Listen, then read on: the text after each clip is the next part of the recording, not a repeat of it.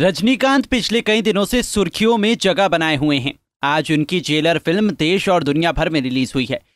और इस फ़िल्म को लोगों द्वारा सकारात्मक प्रतिक्रियाएँ मिल रही हैं। फ़र्स्ट डे और फ़र्स्ट शो देखने वाले लोगों ने जेलर को पहले दिन ही ब्लॉकबास्टर करार दे दिया है।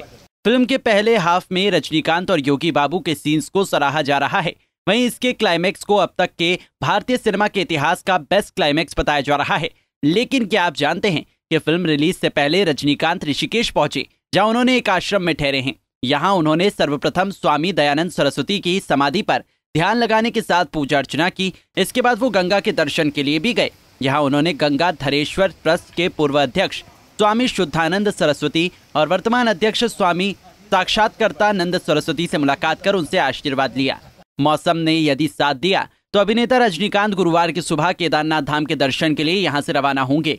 बता दें, प्रसिद्ध फ़िल्म अभिनेता रजनीकांत लगभग हर साल उत्तराखंड का दौरा करते हैं। रजनीकांत ने बताया, उत्तराखंड की शांतवादियाँ उन्हें बहुत बाती हैं। रजनीकांत ने बताया, उन्हें उत्तराखंड पहुंचकर शांति का अनुभव होता है, जिसके कारण वो अक्सर यहाँ आते हैं।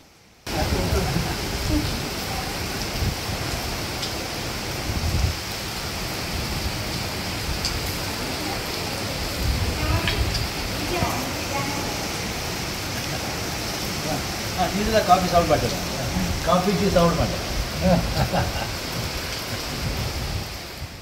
साथ ही रजनीकांत ऋषिकेश के ग्रामीण क्षेत्र गौरी माफी में पहुंचे इस दौरान उन्होंने ग्रामीणों के साथ बातचीत भी की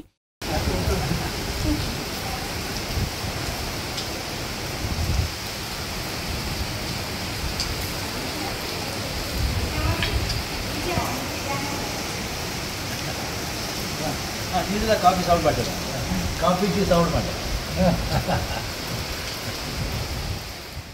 दरअसल इससे पहले ही सुपरस्टार रजनीकांत अपनी फ़िल्म दरबार के लिए भगवान और अपने गुरु का आशीर्वाद लेने पहुँचे थे। तब भी वो फ़िल्म की सक्सेस के लिए देवभूमि पहुँचे थे। इस बार भी जेलर की सफलता के लिए रजनीकांत उत्तराखंड पहुँचे हैं। कल सुपरस्टार रजनीकांत केदारनाथ जाएँगे। पंजाब केसरी टीवी के लिए ऋषिकेश से रमीर नौटियाल की रिपोर्ट।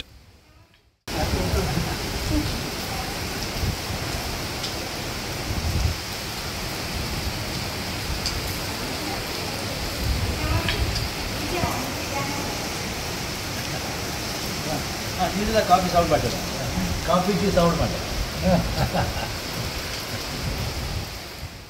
हमसे जुड़े रहने के लिए हमारे YouTube चैनल को सब्सक्राइब करें और नई वीडियो की नोटिफिकेशन के लिए बेल आइकॉन को दबाएं। अगर आप ये वीडियो Facebook पर देख रहे हैं तो लाइक जरूर करें और ज्यादा से ज्यादा शेयर करें धन्यवाद हमसे जुड़े रहने के लिए हमारे YouTube चैनल को सब्सक्राइब करें और नई वीडियो की नोटिफिकेशन के लिए बेल आइकॉन को दबाएँ। अगर आप ये वीडियो Facebook पर देख रहे हैं तो लाइक ज़रूर करें और ज़्यादा से ज़्यादा शेयर करें धन्यवाद